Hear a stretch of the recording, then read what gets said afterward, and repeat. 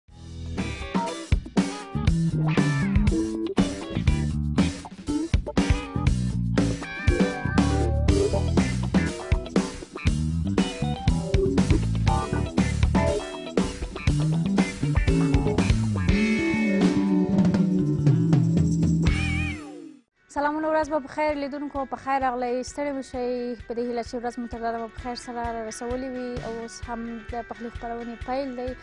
په دې هیله چې تل په څیر کې نه خبرونه وګورئ نن مو هم په پام کې نیول دي چې تاسو ته خوندور خواړه چمتو کړو بیلابیلې برخې نن به هم خبرونه کې شته دغه به تاسو ته وړاندې کوو او تاسو هم خپل خبرونه سره د تل په څیر ملتیا وکړئ بیا مو هم اشمت بازار تاسو ته ولې دی نن موږ غواړو په خبرونه کې پالک پخ کړو د چې پالک کې کوم توکي کارول کېږي ځینې دلته ترکاري مو راوړي دي ځینې نور چې پاتې دي حشمت تللی دی بازار ته د بازار سره راونی شي راوړي پخلنځي ته په ګډه سره به خوندور پالک چمتو کړو راځي چې ګورو حشمت نور کوم توکي راخلي او راځي پخلنځي ته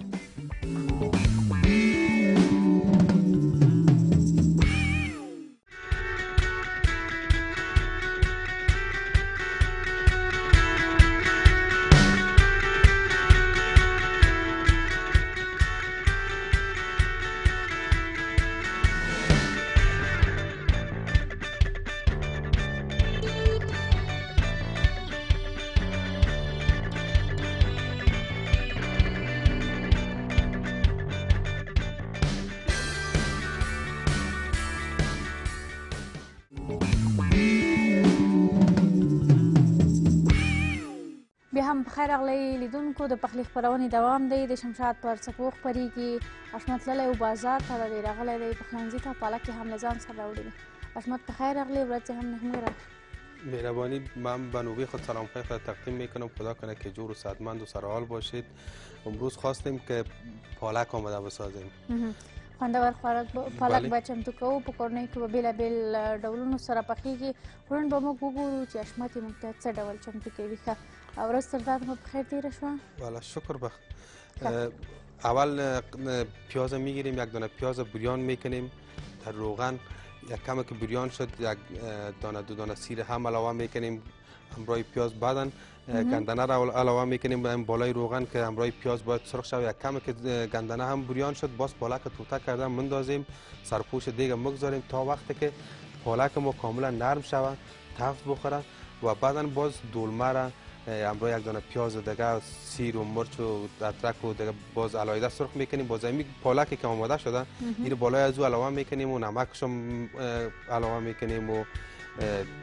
مسالاجاتی که استفاده میکنیم او را هم خیلی ښه طریقه د لیدونکو ته تشریح کړه په دغه بڼه باندې نشمت دلته دغه پالک چمتو کوي او حشمت په خپل کار ته پیل وکړي موږ به ورشو معلوماتي بسته وګورو چې په پالکو کې نور کوم توکي کارول کېږي د پالک مصرفي توکو پکیج پالک، ګندنه، دولمه، هوګه، تازه مرچ، مالګه، غوړي، دال نخود، کیوب، تازه دنیا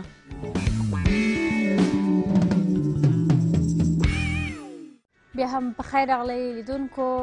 معلوماتي بس سمولي د په ګډه سره ده چې پالک کې کوم توکي کارول کیږي دغه له ځان سره نوټ کړئ تاسو هم دغه خپرونه هم تر پای تعقیب کړئ چې څه ډول پالک چمتو کوي حشمت کوم توکي پکې په کومه پیمانه کاروي ښه حشمت خپل کار ته پیل وکړ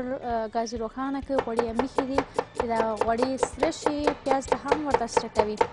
حشمت به خپل کار ته دوام ورکوي زه به هم د خپرونې د فیسبوک پاڼې یادونه وکړم زموږ خپرونه فیسبوک پاڼه هم لري تاسو کولی شئ چې خپل وړاندیزونه غوښتنې موږ ته راواستوئ د پخلي خپرونې فیسبوک پاڼې ته او هر ډول خواړه چې ستاسو غوښتنه وي موږ به تاسو ته دلته چمتو کوو زموږ ګرانې خورکۍ ناجیجیانې د پنځه فامیلیو څخه موږ ته پیغام راستولی دی ویلي دي چې خپرونه ډیره ښه ګټوره خپرونه ده موږ یې تل تعقیبوو ژوندی اوسې خور کوي او غوښتنه یې کړې ده چې په خپرونه کې موږ ورته شیر پیره چمتو کړو اسمت څنګه شیر پیره سر څنګه چمتو کوي شو کنه بله بعضی دوستای ما فرمایش داده بودن که بر ما شیر برنج هم آماده بساز انشالله در برنامه آینده براتان شیر برنج هم آماده می سازیم و شیر پیره را هم مد نظر می گیریم که در آینده براتان شیر پیره را هم آماده بسازیم که شیر پیره به هم چمتو کوو په خبرونه کې هیله ده چې ناجیه جان ټول خبرونه تعقیب کړي په راتلونکو خبرونو کې به ان شاء الله ورته چمتو کړو او هیله ده چې دا هم خبرونه وګوري دغه طریقه یې زده کړي او ترڅنګ دا خبرونه چې کله خبريږي د ځینو هیوادوالو څخه پاتې کیږي نشي لیدلای زموږ ځینې خویندې میندې دي چې ډېرې زیاتې مینوالې دي د دغه خبرونې دا بیا خبرونه نشي کړای هغه ټایم کې چې خبريږي بیا دوی کولی شي چې فیسبوک پاڼه کې دغه خبرونې تکرار او بیا دغه خبرونه بیا ځلې بیا ځلې وګوري په زموږ په پاڼه کې دغه خپرونې هلته اپلوډ کیږي تاسو کولی شئ چې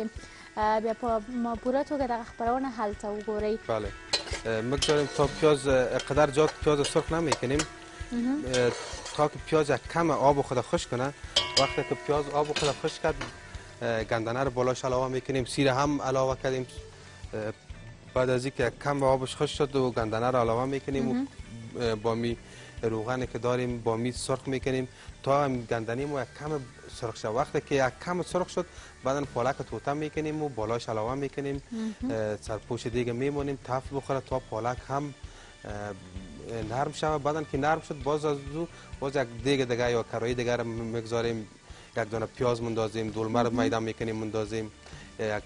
کم سیر یا کم حترت و کیوب به خاطر هم تم و مزهش او را هم بالاش علاوه میکنیم مرچ تازه و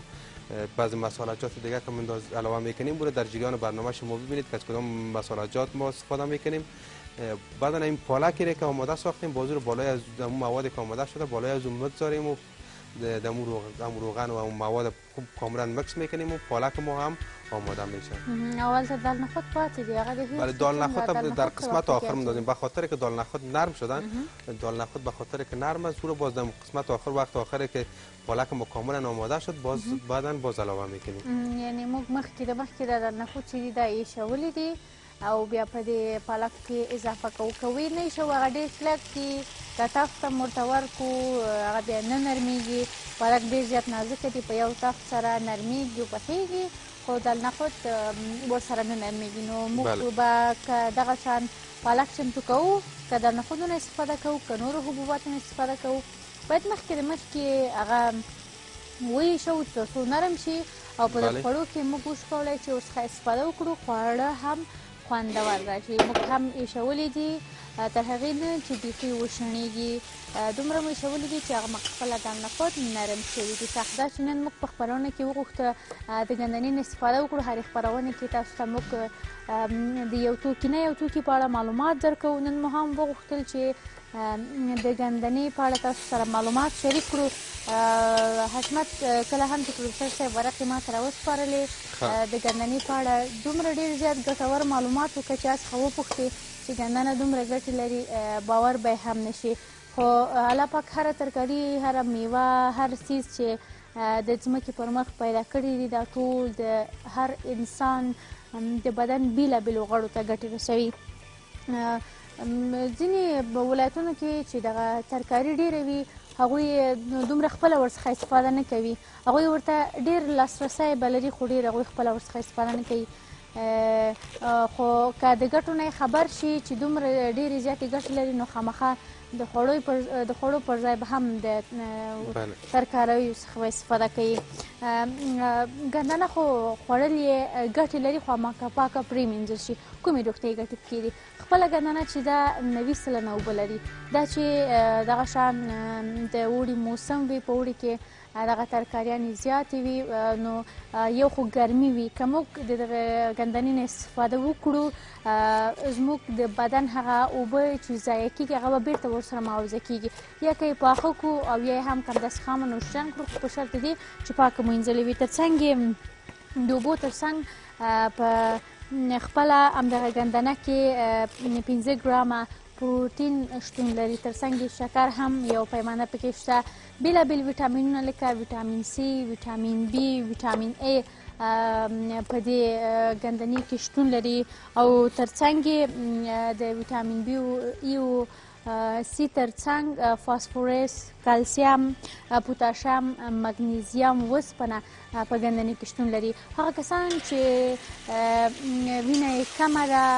او د وینې د کموالي د هم د اوسپنې په بدن کې د اوسپنې د کموالي سره مخ دي کولای شي د ګندنې څخه استفاده وکړي او دغه خپله د وینې د کموالی د منځه یوسي ترڅنګ د میکروبونو ضد ده که په مالګې سره پریمنځل شي وخوړل شي بیا د بېلابېلو میکروبونو د ودې څخه مخنیوی کوي ځینې کسان دي چې ستونی یې ډېر زیات خوږېږي ستونه درد وي دوی تل د نس دردۍ نه د کولمو د درد نه دوی شکایت کوي نو که ګندنه په سمه توګه پرېمینځل شي نوشجان شي غږ به مو صافه د نس دردي لپاره به مو درمل شي او تر څنګ یې د کولمو د میکروبونو څخه به مخنیوی کوي دا چې که یو کس وي د کولمو په ناروغۍ باندې اخته وي دا د منځه وړي او تر څنګ یې ځینې کسان دي چې ډیر زیات د پیچش یا هم د نستردۍ څخه شکایت کوي که دا کسان د ګندنې څخه استفاده وکړي دوی ته هم ګټور تمامیږي نو تاسو هم د ګندنې څخه استفاده وکړئ د دغو روغتیايي ګټو څخه یې برخمن شئ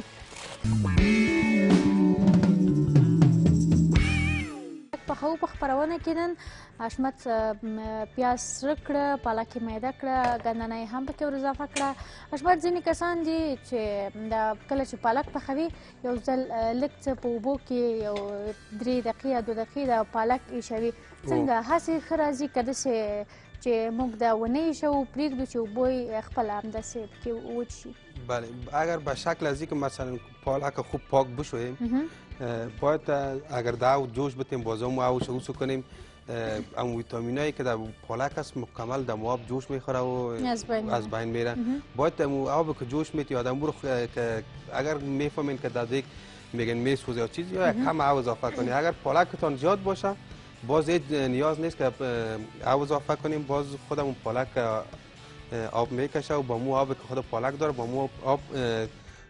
پخته همیشه ښه اوس د بل کرای دی تر وخته د کی میدوي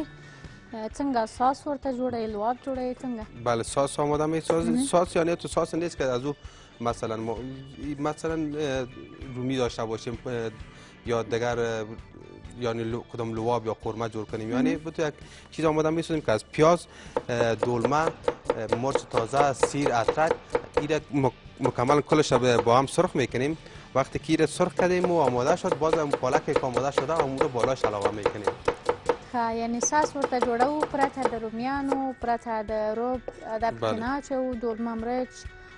هوګه خپل مرچ او ادرک به پکې ور اضافه کوو دغه پالک مو چې په ګندنې او پیازو کې لږ څه تفت ورته ورکړی د په دې کې لږ څه شوي دي دا په دې ساس کې ور اضافه کوو او دال نخود به هم هیر نشي شمت دا به هم به کې ور اضافه کوو ترڅنګ مسالې هم پاتې مسالو نه به هم خامخا استفاده کوو بله از مسالجات هم استفاده میکنیم روغن خودت بر ما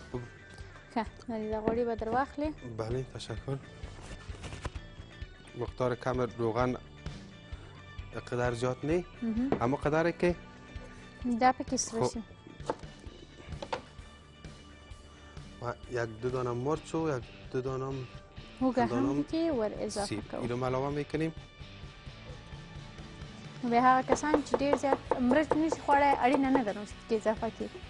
ځینې دي چې دا ترخه خواړه هیڅ نه شي خوړای بله خو اگر مرچ یک تا دو دانه اضافه کنیم خوب اگر نکنیم ضرور نیست که باید مرچ داشته باشیم میتونیم که مرچ هیچ اضافه نکنیم کسی که نوش جان نمیکنه نه هیچ مرچ اضافه نکنن وګه هم خو موږ ورته لاسرسی لرو نو ادرک به هم پکې اضافه کوو چې هم خوندور راشي هم هغه ګټې چې په ادرک کې دي د هغه نه هم برخمن شو او خوشبو یې هم راشي تر څنګ د وږي څخه هم د خوشبویي لپاره استفاده کوو وږي وږي کې هم روغتیایي ګټې شته د وږي څخه به هم استفاده کوو چې هم دغه خواړه چې موږ چمتو کوو دا هم خوندور راشي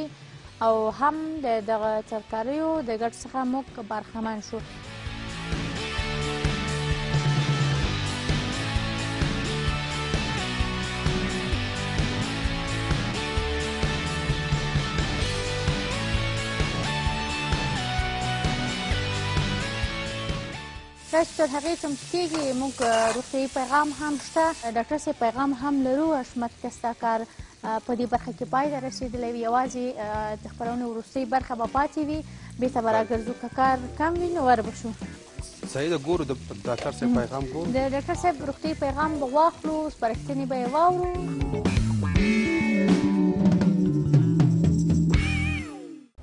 معمولا هغه کسان چې غواړي ستونی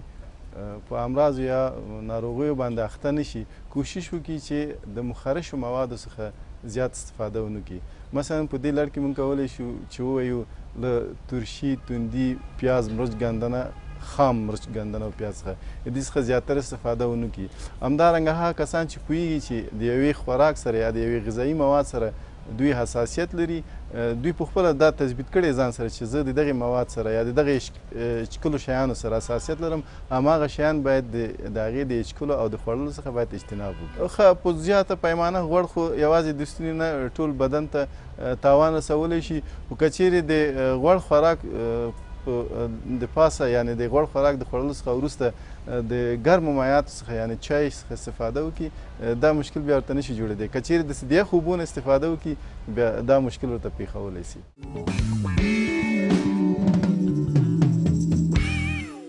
بیا هم بخیر اغلی لیدونکو د ډاکټر صاحب سپارښتنې مو واورېدې تاسو هم په خپل ژوند کې عملي کړئ او د دغه بېلابېلو روغتیايي ستونزو څخه ځان وژغورئ موږ هم را رسېدلي د خپرونې وروستنۍ برخې ته دا د پالک چې موږ غوښته چمتو کړو تقریبا چمتو شوی دی همداسې حشمت بله ایره باید گاز بند کنم ایره بالای از این مواد اضافه میکنیم احساس که داور اضافه کوم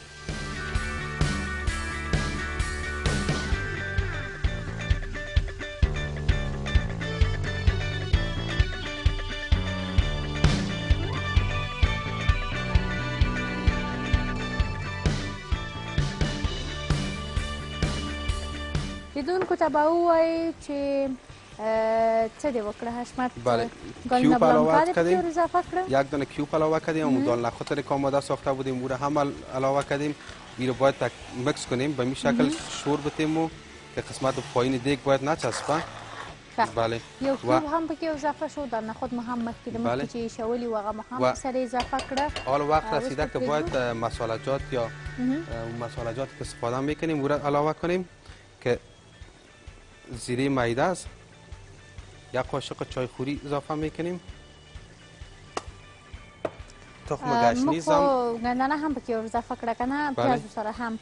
او بیا ځینې کسان دي چې پکې ګندنه نه اچوي نوش پیاز اچوي بیا خو د خوند په برخه کې بدلون نه راځي خوند به هماغه شان خوند کوي که څنګه اگر گندنه علاوه کنیم هم ویتامین هایی که در سبزی باشه پیشتر میشه و همچنان مزدارتر میشه اما سبزی رو که میخوریم یعنی مزه در مزهش یعنی اگر 50 فیصد سبزی مزدار باشه گندنه رو کم روش اضافه کنیم 100 فیصد باور کنیم که مزش یعنی کیفیتش بالا میره خب مالګه دې پکې ور اضافه کړه سره مرچ بله تور مرچ و... او ترڅنګ هغه بله مسله څه وه زیره میده تخم گشنیز نمک مرچ سرخ و بسیار مقدار کم مرچ سیاه بله بل مسئله هم پکې ور اضافه کړې بله حالا کاملا پالک آماده است او دا چمتو شوی دی دا به راوباسو وګورو چې څنګه خوندور راغلی دی او که نه ځکه چې د خپرونې وخت ډیر کم پاتې دی عصمت بله ښه ته د پالک هم چمتو شو ډیر زرات سره هم د اشمت نو چې ډوډۍ نه زه دغه پالک سره ډول نوش جان کړم پروډوسر صاحب وایي چې ته خامخا د دې نه باید استفاده وکړې عصمت داسې به وکړو چې نن به دغه د دې خوړو خوند تم ته وګوري چې څنګه خوندور غل کنه خب اگر نمکش هم کم باشه به بینندان هم میگم که نمکش کم است میگم کاملا مزه دار است نه نن به رښتیا قضاوت کوي خیر دی که مالګه کمه می ته به لږ څه نوشجان کړې ځکه چې زما ستونه درد کوي نو مرچ دې هم پکې اضافه کړي دي کزده نوشان کړم نو ما امروز از طرف تو ما باید نوش جان کنم ته نوشان کو ګوره نو قضاوت بس هم قضاوت کوي چې څنګه یعنی... خوندور راغلی دي کنه مالګه هر څه مرچ برابر دي کنه درست امروز قضاوت از است ما لګ به پف کې چې سره دي خیر ان شاء الله نامې سوزیم پف میکنم که اتنا که دان ما بسود و بازار روز خداوند داغ داغ سر من سوزان کنیم خب ما مزیش هم میبینم خلیزون کوس و اشمت سم قضاوت که دست پنه وای چې خراب می وای نه خراب خو نه دی ځکه چې زحمت ډیر زیات وایستو خو منظم په کړه څنګه کم تون مزه است یعنی تند نیست که زیاد تند باشه بسیار زیاد تند نیست کم تون مزه است و دیر و چه دیل پاره چیزی و نخورما بله. از ما سونم درد کی نه خیر خودت باز میشه که بازگان چیز دیگه ما برات آماده بسازم کم برای یک جای نوش جان کو و بسیار زیاد وقت مزه دار است شما رو مگه در خانه میتونستین به می شکل آماده بسازین اوکی ډیر مننه په دې هیله چې لیدونکو تاسو هم لیدلی وي خوندور دي د خواړه دا ډیزاین یې چې ښکلی و دا ظاهري بڼه یې ښکلې وه نو خامخا خوند یې هم همغه شان یې بله. وه شپه چې چمتو کړي خامخا خوندور راځي د خپرونې وخت هم پای ته رسېدلی دی تر بیا بلې خپرونې تاسو مهربانه رب سپارو آه، پاتې وختونه مو آه، نیکمرغه تر بیا د الله په امان آه، ښې شېبې